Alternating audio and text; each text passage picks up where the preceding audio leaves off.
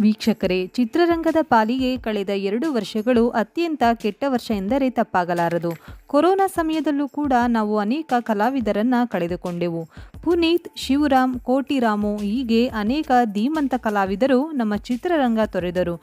ಇದಲ್ಲದೆ ಬಾಲಿವುಡ್ನ ಅನೇಕ ನಟ ನಟಿಯರು ಕೂಡ ಕೊರೋನಾ ಸಮಯದಲ್ಲಿ ಇಲ್ಲವಾದರು ಈಗ ಅದೇ ಸಾಲಿಗೆ ಇದೀಗ ಮತ್ತೊಬ್ಬ ಖ್ಯಾತ ನಟಿ ಸೇರಿದ್ದು ಮಗು ಹೆತ್ತು ಸುಖ ಜೀವನ ನಡೆಸುತ್ತಿರುವಾಗಲೇ ಪ್ರಾಣ ಬಿಟ್ಟಿದ್ದಾರೆ.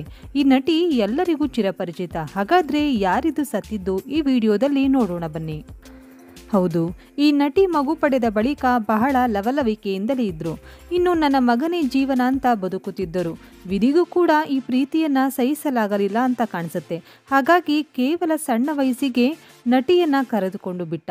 ಜೀವಾಹಿನಿಯಲ್ಲಿ ಪ್ರಸಾರವಾಗುತ್ತಿದ್ದ ಖ್ಯಾತ ಧಾರಾವಾಹಿ ಜೋಧಾ ಅಕ್ಬರ್ ಶೋನಲ್ಲಿ ಸಲೀಂ ಬೇಗಂ ಪಾತ್ರದಲ್ಲಿ ನಟಿಸಿ ಈ ನಟಿ ಹೆಸರುವಾಸಿಯಾಗಿದ್ರು. ಮೆದುಳಿನ ಸಮಸ್ಯೆಯಿಂದ ಬಳಲುತ್ತಿದ್ದ ಈ ನಟಿ ಬ್ರೈನ್ ಹ್ಯಾಮರೇಜ್ನಿಂದ ಸಾವನ್ನಪ್ಪಿದ್ದಾರೆ. ಇತ್ತೀಚೆಗಷ್ಟೇ ಮಗನ ಮೊದಲ ವರ್ಷದ ಹುಟ್ಟುಹಬ್ಬವನ್ನ ಅತಿ ಸಂಭ್ರಮ ಸಡಗರದಿಂದ ಆಚರಿಸಿದ್ದರು. ಈ ನಟಿ ಬೇರಾರೂ ಅಲ್ಲ, ನಟಿ ಮನೀಷಾ ಯಾದವ್. ಈ ನಟಿಯ ಸಾವಿಗೆ ಇಡೀ ಚಿತ್ರರಂಗವೇ ಕಂಬನಿ ಮಿಡಿದಿದೆ.